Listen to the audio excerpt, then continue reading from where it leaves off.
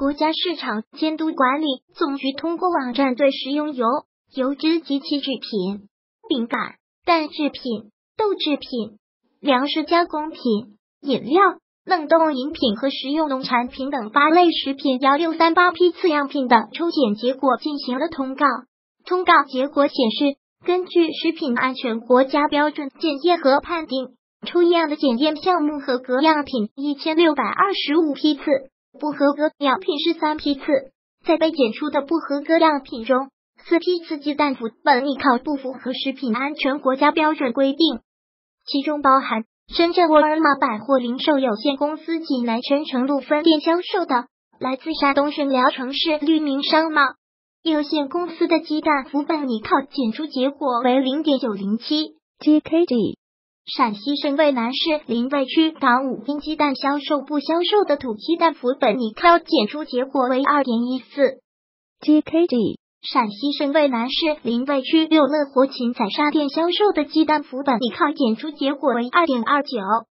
GKG。南京市雨花台区仁和粮油店销售的来自江苏省南京市浩富禽蛋批发的洋鸡蛋福本尼考检出结果为零点九二 GKG。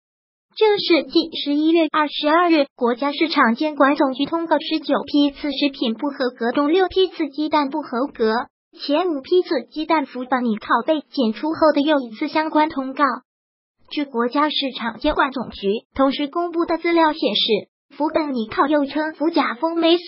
是农业部批准使用的动物专用抗菌药，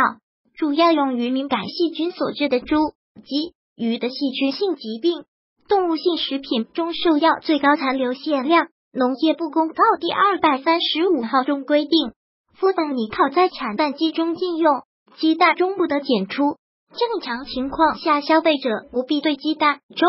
检出氟苯尼考过分担心，但长期食用氟苯尼考残留超标的食品，对人体健康有一定影响。产蛋家禽禁用氟苯尼考。氟苯尼考是一种农业部批准使用的动物专用抗菌药，主要用于敏感细菌所致的猪、鸡、鱼的细菌性疾病，尤其对呼吸系统感染和肠道感染疗效明显。但产蛋家前禁止使用氟苯尼考。氟苯尼考自研究成功以来，在日、美、欧多个国家及地区得到广泛应用。中国农业部第二百三十五号公告。动物性食品中兽药最高残留限量规定，氟苯尼考作为广谱抗菌药物，可用于猪、牛、羊、禽、鱼等禽畜。氟苯尼考一般是通过饲料添加或者家禽疾病导致畜禽体内残留的鸡类。氟苯尼考特别是对鸡的生殖系统有消炎作用，但同时会轻度抑制生殖激素的产生，造成鸡蛋早期胚胎的死亡。所以二百三十五号公告。动物性食品中兽药最高残留限量规定价钱产蛋禁用。从检验角度，鸡肉、皮、脂、肝、肾中允许检出，但鸡蛋中不得检出。美国相关法规标准规定，氟苯尼考可用于猪、牛、鱼；欧盟则只允许用于鱼类。长期食用存在健康风险。氟苯尼考的 ADI 值平均日允许摄入量为零。三克每千克体重天，以六十公斤体重成人计算，每日从饮食中摄取零一百八十克氟苯尼考，没有健康危害。正常情况下，消费者不必对鸡蛋中检出氟苯尼考过分担心。